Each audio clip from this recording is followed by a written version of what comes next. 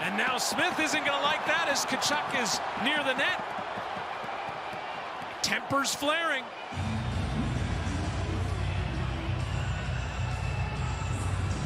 As the former teammates with the war of words, Darnell Nurse takes the gloves off.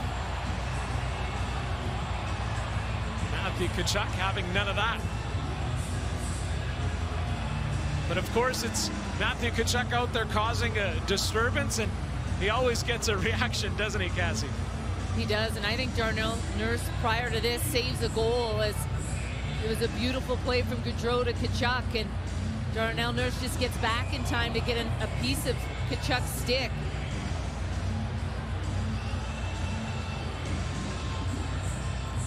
So we'll take a look at what the officials decide. As they're motioning towards the players, Matthew Tkachuk making his way to the penalty box. And there's the play by Darnell Nurse. And Smith doesn't like the stick. Nurse gives Tkachuk a shot. And it's 8-5 Flames on Hockey Night.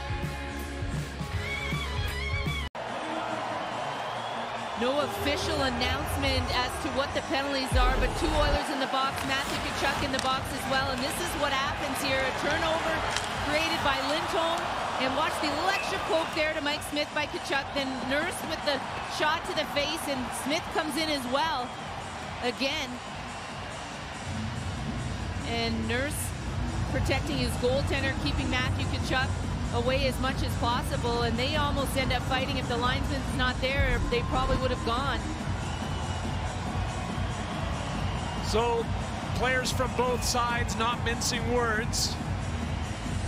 As Calgary getting set for a offensive zone face-off, it's Backlund head-to-head -head with